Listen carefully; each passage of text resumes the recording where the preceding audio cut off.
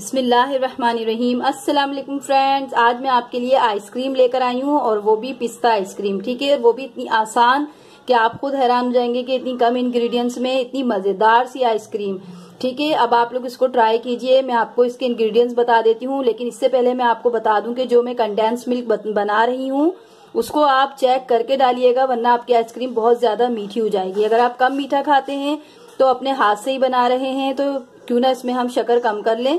तो आप condense milk कम कर लीजिएगा तो ये आपके पसंद के मुताबिक बनेगी। ठीक है, चलिए अब हम आइसक्रीम बनाना शुरू करते हैं। सबसे पहले हम कंडेंस मिल्क बनाएँगे।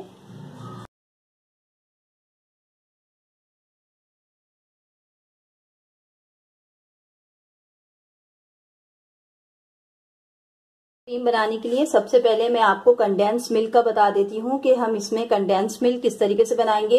ये मैंने हाफ़ कप दूध ले लिया है।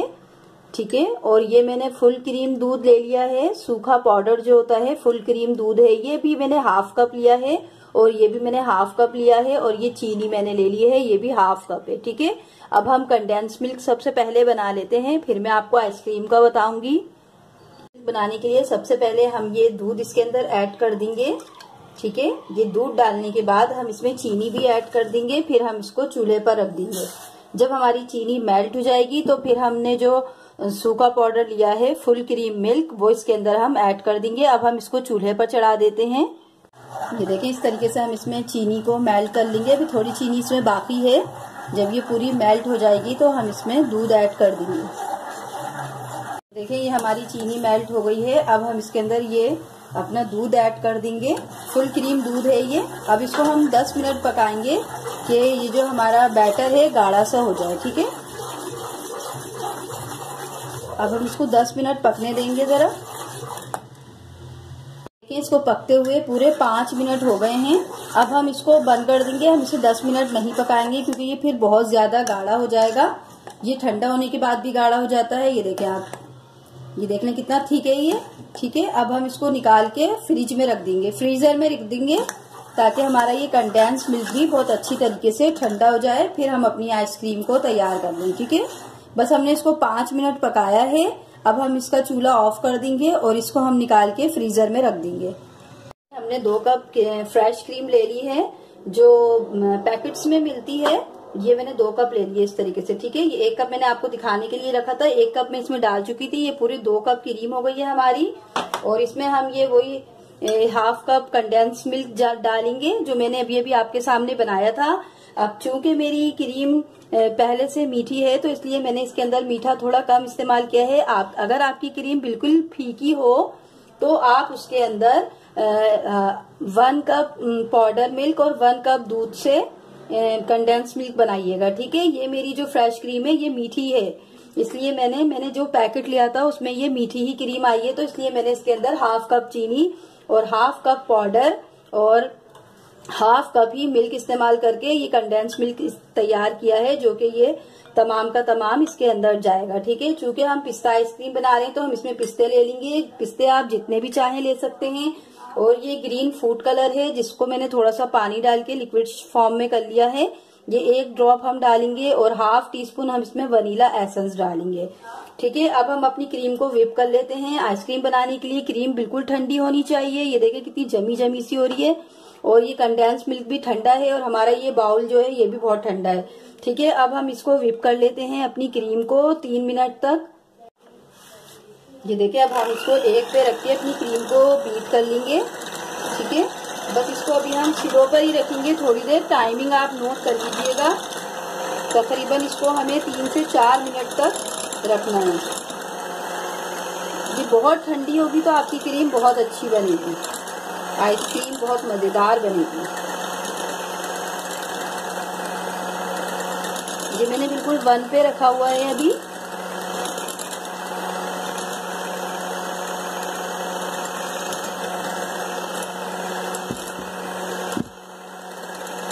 देखिए फ्रेंड्स इसको तीन मिनट हो गए हैं। आप देख सकते हैं कि इसका वॉल्यूम बढ़ गया है। अब हम इसके अंदर कंडेंस मिल्क ऐड कर देंगे।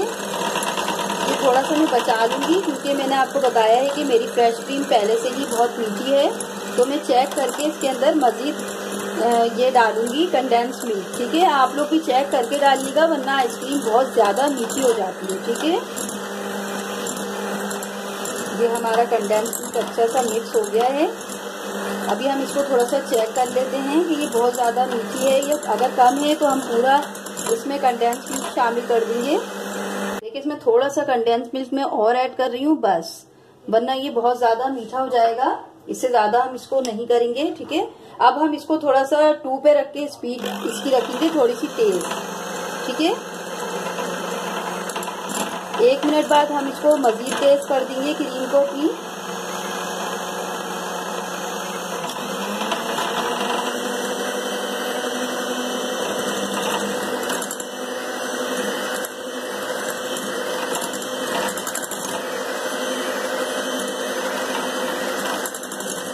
अब हमने इसका जो तेज कर दिया है, हमने इसको थ्री पे रखकर बीट कर रहे हैं अपनी क्रीम को।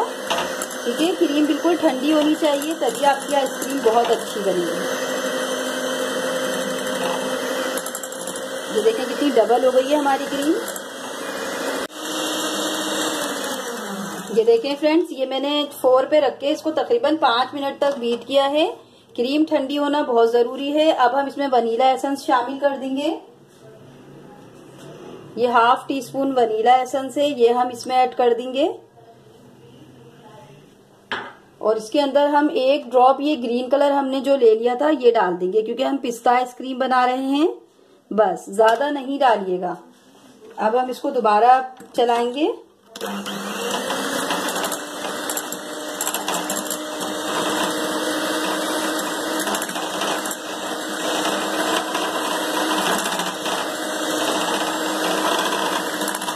थोड़ा सा ड्रॉप हम और डालेंगे इसमें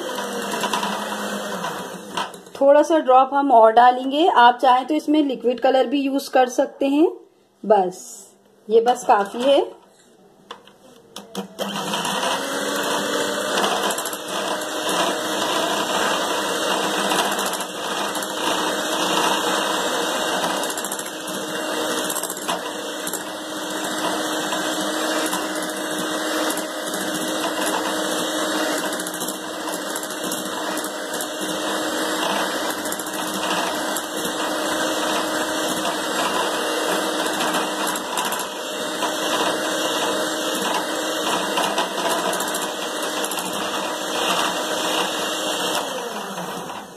ये देखें ये हमारा बैटर तैयार हो गया है।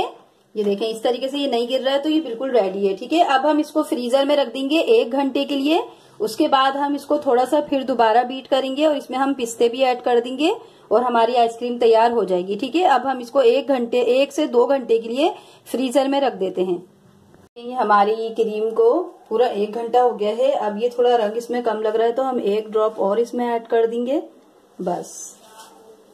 ठीक है, अब हम इसको दोबारा वीप करेंगे। इससे हमारी आइसक्रीम बहुत ही सॉफ्ट और बहुत अच्छी बनेगी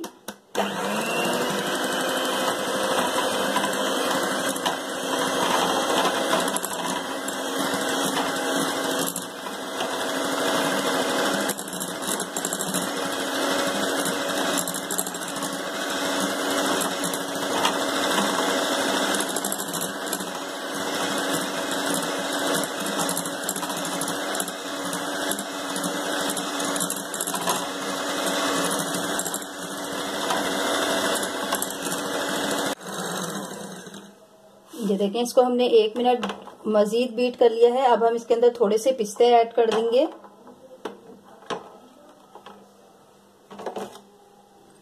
ये थोड़े से पिस्ते हम इसके अंदर ऐड कर देंगे। अब हम इसको और थोड़ा सा एक मिनट और बीट करेंगे।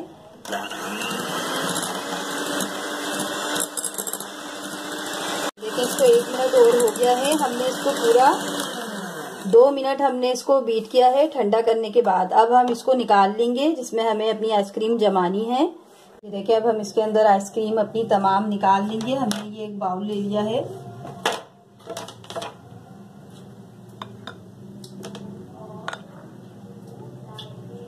तमाम आइसक्रीम हम इसमें निकाल लेंगे।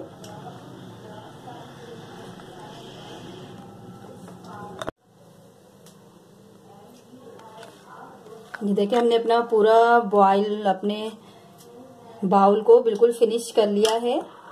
अब हम इतनी ये आइसक्रीम को सेट कर लेते हैं। ये देखें ये हमने अपनी आइसक्रीम को सेट कर लिया है। ठीक है, अब हम इसमें थोड़े से पिस्ते डाल देंगे। क्योंकि हमने ये पिस्ता आइसक्रीम बनाई है। बस, अब हम इसको फ्रीजर में रख देंगे एक दिन के लिए। अब हम आपको कल बताएँगे ये कि हमारी आइसक्रीम कैसी बनी है। ठीक है, अब हम इसको कवर कर देते हैं।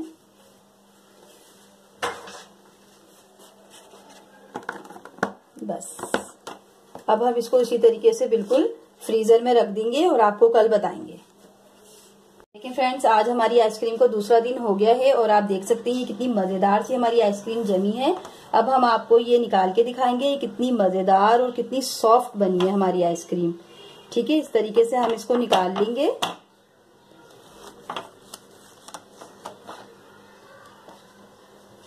से हमने ये दो पीस निकाल लिए हैं। आप आइसक्रीम स्कूप से निकालेंगे तो ये बहुत ही अच्छी निकलेगी।